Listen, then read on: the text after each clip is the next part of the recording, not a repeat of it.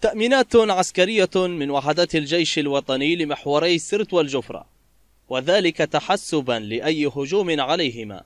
أفادت مصادر عسكرية أن قوات الجيش الوطني متأهبة لصد أي هجوم قد يقوم به الغزو التركي وميليشيات السراج على هذين المحورين حيث صرح المتحدث العسكري باسم القيادة العامة للقوات المسلحة أن مناطق غرب سرت والجفرة مؤمنة بشكل كامل.